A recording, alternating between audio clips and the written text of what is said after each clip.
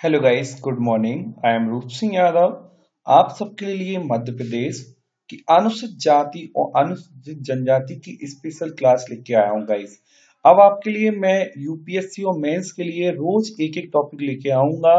साथ ही गाइस आप मेरे इस नंबर पर जुड़कर टेलीग्राम वाले नंबर है. व्हाट्सअप मेरा जो ये नंबर अभी बैन हो गया है, इसलिए व्हाट्सअप भी चालू हुआ तो है तो आप टेलीग्राम पे मेरे ग्रुपों में जुड़िए। आप कुछ नहीं गुरु ज्ञान क्लासेस को सर्च कर लीजिए या वीडियो के डिस्क्रिप्शन में जाकर इस लिंक से आप मेरे ग्रुप में जुड़े और ये टेलीग्राम फ़ाइल को जुड़े और प्राप्त करें और अपनी तैयारी स्टार्ट करें। अनुसूचित जाति राइट अनुसूचित जाति जो नाम सबसे पहले साइमन कमीशन के द्वारा दिया गया। लेकिन अनुसूचित जनजाति को सबसे पहले जो आदिवासी है किसने कहा? राइट तो जयपाल और ठक्कर बाबा ने, ने आदिवासियों का मसीहा कह के बुलाया। मजूमदार एंड मदान अनुसूचित जाति बंद वर्ग के नाम से दिया। गांधी जी ने हरिजन शब्द जब तक डॉक्टर धुरिये ने इन्हें पिछड़ा हिंदू कहकर संबोधित किया। बेरियर एल्विन की जो पुस्तक थी दा बेगा, इसमें इन्हें अनुसूचित को जनजाति को हमने शेड्यूल ट्राइब के नाम से बताया गया है। अगर एस टी के बारे में देखें तो संविधान में क्या प्रावधान है? आर्टिकल 342 में एसटी के बारे में विस्तार पूर्वक बताया गया है, जबकि आर्टिकल 366 में थ्री सिक्सटी में एसटी की परिभाषा दी गई है अनुसूचित जनजाति की परिभाषा। राइट आगे बढ़ते हैं। आर्टिकल 366 के सेक्शन 25 में ये डेफिनेशन है।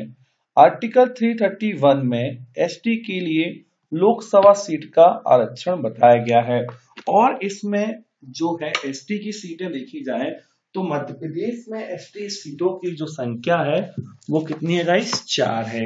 राइट गाइस तो अब चलते हैं अपन नेक्स्ट आर्टिकल 338 के फ़र्स्ट में एसटी के आयोग के बारे में बताया गया है, जबकि आर्टिकल 15 के चार्ज में एस सी एस टी के लिए शिक्षा क्षेत्र में आरक्षण है। एस टी के लिए 16 के चार में सरकारी नौकरी में आरक्षण है, जबकि 16 के चार के फ़र्स्ट में एस सी को प्रमोशन दिया गया है। फिर सत्रह का छुआछूत प्रतिबंधित है राइट अब है सिविल राइट्स एक्ट 1955 इसके तहत हमने इन्हें, जो सजा इस एक्ट को और प्रभावशाली 1989 में इसके लिए हमने एस सी एक्ट को पारित किया। राइट गाइस चलते हैं अपन आगे। अब वन संरक्षण अधिनियम कब आया? 1980 में। वन एक्ट कब आया? 1927 में। वन संरक्षण संशोधन अधिनियम कब आया है? ये 2006 में आया। इसके तहत वन से प्राप्त होने वाले सभी उत्पादों पर जनजाति का अधिकार रहेगा। राइट अब चलते हैं अपन। एसटी का क्या स्ट्रक्चर है? मध्य प्रदेश में देखें तो मध्य प्रदेश में एसटी की जो संख्या है 1.53 करोड़ है और हमारा राज्य देश में सबसे ज़्यादा एसटी रखता है। 21 परसेंट हमारे पास जनजाति है। प्रदेश में सबसे ज़्यादा एसटी की संख्या कहाँ पाई जाती है? तो इसका आंसर रखोगे मध्य प्रदेश। देश में सबसे ज़्यादा परसेंटेज वाइज देखें एसटी तो 14 प्रतिशत हमारे यहाँ है। परसेंटेज के आधार पर देखें तो हमारा जो स्थान है, तेरहवे नंबर पे आते हैं। यानी हम परसेंटेज वाइज कितना है हमारे पास? तेरवा मध्य प्रदेश में एसटी की जनसंख्या के आधार पर हम कितने हैं? पहले नंबर पे हैं। राइट अब गाइस चलते हैं सबसे ज़्यादा जनसंख्या एसटी वाला जिला।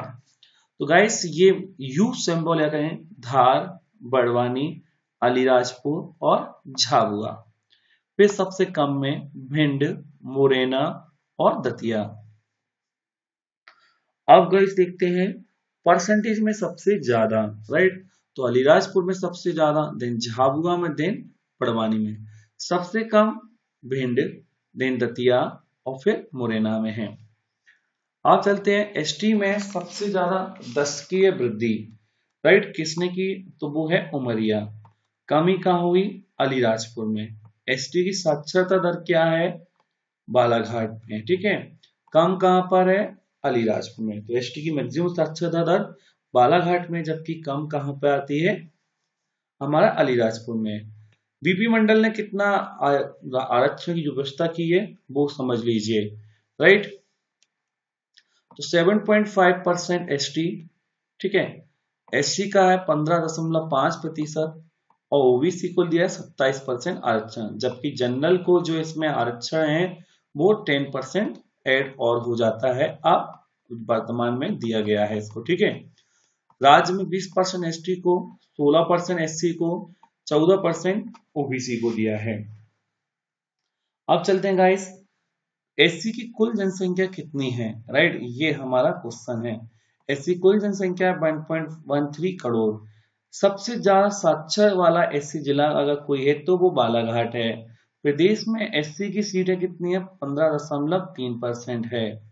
सबसे ज़्यादा एससी वाले ज़िले जो हैं, इंदौर, उज्जैन, सागर एंड दतिया हैं। जबकि परसेंटेज में उज्जैन, सागर एंड दतिया हैं। अब एससी में सबसे कम तो झाबुआ अलीराजपुर, मंडला, डिंडोरी राइट सबसे परसेंटेज वाइज कमी कहाँ है? झाबुआ, अलीराजपुर, डिंडोरी एंड मंडला। एससी में सबसे बड़ी जाति कौन सी है? सबसे ज़्यादा चमार है, फिर खटीर, फिर भंगी और बेड़िया समाज ये बाजारों में नाच गान और वैश्यावृत्ति होती है, उसमें ये अपने लिप्त पाए जाते हैं। जावली योजना इनको बिना ब्याज के लोन दिया जाता है। इस योजना में यार जावली योजना में क्या है? बिना ब्याज के लोन दिया जाता है। अब चलते हैं गाइस आगे। भीमराव अंबेडकर को एसिस का समाज सुधारक मसीहा और पिताहमा के नाम से जानते हैं। 26 सितंबर 1932 को पूना पैक्ट समझौता लागू हुआ, जिसमें गांधी और भीमराव अंबेडकर की पृथक निर्वाचन की मांग को स्वीकार किया गया। अब है काका कालेकर। काका कालेकर को जो है हम ओबीसी का मसीहा कहते हैं। नेक्स्ट जनजाति है हमारी मध्य प्रदेश की सबसे बड़ी जनजाति, भील के बारे में हम पढ़ने वाले हैं गाइस तो भील की उत्पत्ति संस्कृत भाषा के बिलुअर शब्द से हुई है। राइट इस शब्द का मीनिंग होता है धनुष विद्या में निपुण व्यक्ति। राइट और इसकी जो संख्या है, महाराष्ट्र एमपी गुजरात में पाई जाती है। एमपी में पश्चिमी मध्य प्रदेश में सबसे ज़्यादा है। उपजाति को याद कैसे लगते हैं? भी भी बप्पर वे भील। भिलाला इसकी सबसे बड़ी उपजाति है। बा से बरितास पा से पटालिया रा से रतियास और बे से बरेला है। इनके रहन सहन क्या होता है? पुरुष धोती, कुर्ता और बंडी पहनते हैं, जबकि महिलाएँ धोती, चांदी ग्लेट आभूषण। गोदना, गुदबाना सबसे प्रिय है। धार्मिकता में देवता राजा पंथा और हिंदू देवी देवता की ये पूजा करते हैं। खान पान में मक्के की रबड़ी और जौ और ताड़ी। इनमें विवाह में देखे तो विधवा विवाह, सेवा विवाह और हमारा क्या है? अपहरण, विवाह और मंगनी पाया जाता है। जबकि इनका जो फेस्टिवल होता है, भगोरिया होता है, जो इनका प्रेम पढ़ने पर्व है। ये जो पर्व है, होली से सात दिन पहले आयोजित होता है। राइट? और इसमें गुलालिया का आयोजन किया जाता है पहले दो दिन। इसमें क्या होता है? लड़का और लड़की अगर एक दूसरे को गुलाल लगा देते हैं तो उनकी शादी कर दी जाती है। फिर है गोल गधेड़ो उत्सव। गोल गधेड़ो उत्सव में लड़का को, लड़की को लेकर भागना होता है। अगर नहीं पकड़े जाने की दिशा में हम उनकी शादी आपस में कर दी जाती है। राइट गाइस आज चलते हैं अपन आगे। उजाड़े इसमें अपना मेला समाप्त हो जाता है और हम क्या होता है अपने अपनी जो मेन वस्तु होती है, उसको परचेस करते हैं और अलग हो जाते हैं। राइट मेला समाप्त हो जाता है। अब 2018 में ये धार, अलीराजपुर और झाबुआ तीन जगह आयोजित हुआ और चौतीस स्थानों पर ये लगा था। फिर चलते हैं। आवास। क्रम में बने मकानों को भीलों के हम कू कहते हैं और घास पास से बने मकान होते हैं। पंद्रह से अधिक समूह जो होता है, मकानों का उसे हम फाल्या कहते हैं। अगर हम डांस देखें तो ये टोड़ा, पड़वा, कहरवा और दांगला नृत्य करते हैं। बोली देखें तो भीली, तड़वी भील जो है, इस्लाम धर्म को फॉलोअर्स होते हैं और तनुफ मिनाज और सनकी होते हैं। अब भज्जू श्याम जी एक चित्रकार हैं, इन्हें पद्मश्री अवार्ड 2017 में मिला था। मामा बलवेश्वर दयाल जो है, एक समाज सुधारक और भी समाज के जनक भी इन्हीं को कहा जाता है। बत्तो बाई भीली गुड़िया शिल्प बनाने के लिए प्रसिद्ध है। भूरी बाई चित्रकार देवी अहिल्याबाई और इन्हें स्पीकर सम्मान दिया गया था। फेमा फालिया चित्रकार हैं पिथौरा और जो है, जो अगर ये डायग्राम जो बनाता है पिथौरा चित्र को, उसे लिखविंदर कहते हैं।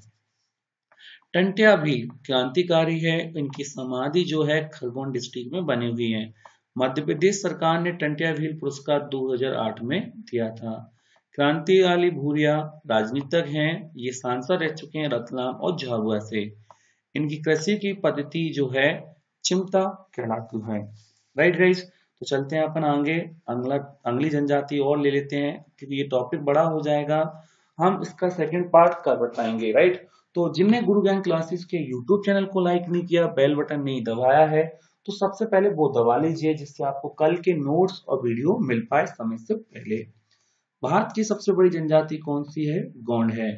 राइट? और एमपी की दूसरी सबसे बड़ी जनजाति कौन सी है? गौंड है। अब आते हैं हम कौन। कौन कौन होते हैं जो पर्वतों पर रहने वाले लोग को हम क्या बोलते हैं? कौन क्षेत्र तमिलनाडु, जो क्षेत्र इनका देख रहे हैं हम तो नर्मदा सोन घाटी के उत्तर दक्षिण में ये सबसे ज़्यादा, इसके बाद छत्तीसगढ़, झारखंड में भी मिलती है। इनकी उपजाति, राइट? तो व्यवसाय के आधार पर एक लाइन से याद करते हैं ऊर्जा का सोपान। ऊर्जा का मतलब तांत्रिक क्रियाएँ करने वाला व्यक्ति आग से है हमारा अगरिया। ये अपने आप को कहते हैं आग से हम उत्पन्न। सबसे पहले धातु खोजी इनने लोहा और आयक से विधि दी इनने धातु बनाने की राइट इनके देवता कौन हो गए लोहासुर। कहा से है? कोयला वित्तीस जो नचरों में नाच गान करे, उसे कोयला वित्तीस कहते हैं। सोच से है सोलहास, बड़ई का काम करने वाला व्यक्ति। पास से है प्रधान यानी पंडिताई करने वाला व्यक्ति। नाच से नगाची नगरों में नृत्य करने वाला व्यक्ति। आवास के आधार पर देखें धुरगौण राजगौण और मुड़िया होती है, जो छत्तीसगढ़ में पाई जाती है। देवता की अगर बात दूला देव ठाकुर देव और शिवाजी इनके देवता होते हैं। युवा ग्रह देखें तो इनका घुटुल है। घुटुल वो होता है जिसमें लड़का लड़की आपस में जंगल में मिल सकते हैं, अपने विचार विमर्श कर सकते हैं। राइट गए? तो ये काफ़ी अच्छे से याद रखना और ये एग्ज़ाम के पॉइंट्स ऑफ़ व्यू से काफ़ी बार पूछा गया है। राइट? तो इसको अच्छे से याद कर लीजिए, क्योंकि एग्ज़ाम आपका होने वाला है तो एग्ज़ाम में ये पॉइंट्स आपसे ज़रूर वो पूछ सकता है। अब चलते हैं मेला। राइट? प्रथा इनमें दूध लुटावा की है, जिसमें लड़का लड़की के मामा, जो मामा बुआ के लड़का लड़की होते हैं, आपस में शादी कर लेते हैं। इसमें लमजाना विवाह पाया जाता है, जिसे, इसमें अगर शादी होती है तो उसे हम अपहरण विवाह या सेवा विवाह भी बोलते हैं। गोत्र। सगोत्र विवाह वर्जित हैं, राइट? क्या रखोगे? सगोत्र जो विवाह है, वो क्या कहते हैं? वर्जित है इनके में। जो आपको ये अच्छे से याद करना है, इनमें सगोत्र विवाह क्या होता है? वर्जित है और एग्ज़ाम के पॉइंट ऑफ़ व्यू से ये काफ़ी पूछा भी जाता है। राइट अब चलते हैं गाइस आगे बढ़ते हैं और ये है इसमें मेला। मेला इनका क्या है? मड़ई है, जिसमें पान और तमाकू बांटकर जीवन साथी का चयन किया जाता है। लाव काज क्या है? जिसमें सुगर की पूजा होती है। अब क्या है हमारे पास? बंगपंथी, नवाखानी, बिदरी और मेघनाथ गाइस इसके आगे का लेक्चर जो हमारा दूसरा लेक्चर होता है, उसमें बाकी सभी जनजाति पढ़ेंगे। और जो मेरे हैंड रिटर्न नोट्स है, उसके आधार पे पढ़ाऊँगा। पूरी चित्रात्मक ढंग से आपको जनजाति पढ़ाने वाला हूँ। तो गाइस जाइएगा नहीं हम एक एक जनजाति कल पढ़ेंगे इसके आगे का भाग। अन अकेडमी पे आप मुझे ज्वाइन करें, वहाँ पे भी आप सबके लिए बेस्ट से बेस्ट लेक्चर उपलब्ध